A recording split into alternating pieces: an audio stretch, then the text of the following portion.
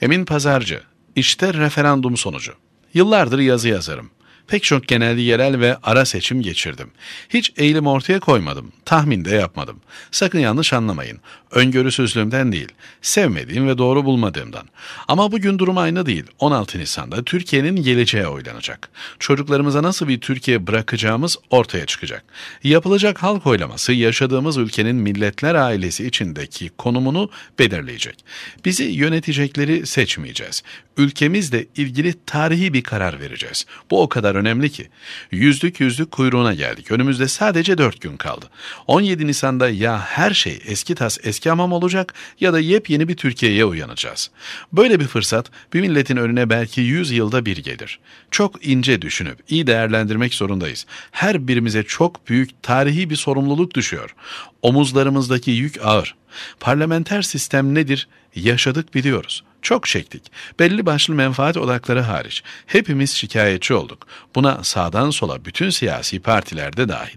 Hep gitmiyor dedik. Sürekli olarak çürümüşlükten bahsettik. Bizi yönetecek insanları bile dilediğimiz gibi seçemedik. Liderler önümüze isimler koydu. Onlarla yetinmek zorunda kaldık. Lider sultalarının peşine takılıp gittik. Bürokrasi canımıza okudu. Derdimizi kimseye anlatamadık. Gün oldu, iki kişi kavga etti diye devalüasyonlarla karşılaştık. Bir günde fakirleştik. Gün geldi, siyasi kaprisler yüzünden seçim hükümetleri ile karşı karşıya kaldık, tıkandık vesaire vesaire. Hep biz kaybettik. Sürekli olarak bizim canımız yandı. Şimdi bakıyorum da daha düne kadar yerden yere vurdukları sisteme bugün sahip çıkanlar bizi de aynı yola yönlendirmeye çalışıyorlar. Niye mazoşist miyiz biz? Yine aynı acıları çekecek zevk mi alacağız? Tarih boyunca canımıza okuyan, ekmeğimize kan doğrayan emperyalistler sakın diyorlar.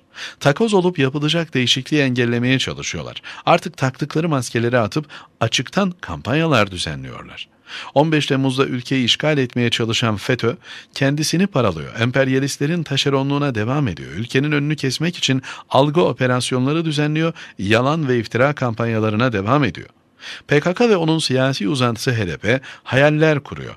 Kan ve gözyaşı üretmek için geçmişe dönmek istiyor. Bu ülkeyi bölüp parçalama hayalleriyle hayır çağrıları yapıyor. Kitleleri silahla tehdit ediyor irili ufaklı bütün terör örgütleri aynı noktada buluşuyor. Bakıyorsunuz sandık dışı projelerle koltuk kapıp güç elde edenler onlarla aynı noktada buluşuyor. Şahsi hesapları ülke sevdasının önüne geçenler bu kervana katılıyor. Küskünlerle yıllar boyu kin ve nefret biriktirenler önlerine gelen fırsatı ganimete çevirmeye çalışıyor panik halinde garip davranışlar sergiliyorlar. Dengesiz bir şekilde sağa sola saldırıyor, yalan söylüyor, hakaret ediyor, hatta milleti denize dökmekten bile bahsediyorlar. Bütün bu gelişmeler milletin önünde gerçekleşiyor. İşte biz böyle bir ortamda sandığa gidiyoruz. Çanakkale'de düşmanı denize döken, milli mücadele Anadolu'yu yedi düvele dar eden, gerçekleştirdiği Kurtuluş Savaşı dünya üzerindeki mazlumlara rehber olmuş bir millet oy kullanacak pazar günü.